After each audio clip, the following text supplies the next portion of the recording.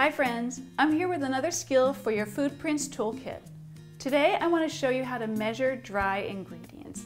And you might not think that that's so important, but when you're making cookies or muffins, you want to have your dry ingredients to be the right amount.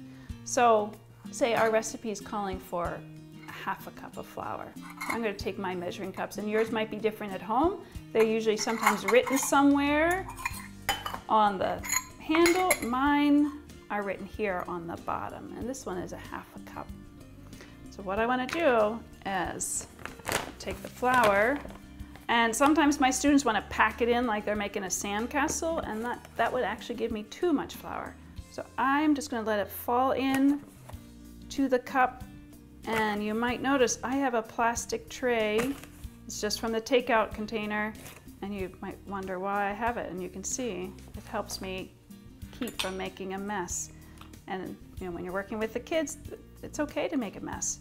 It makes it easy to clean up. So the next trick is you're gonna wanna level it off. So I'm just gonna use the back of this butter knife and push the extra flour off.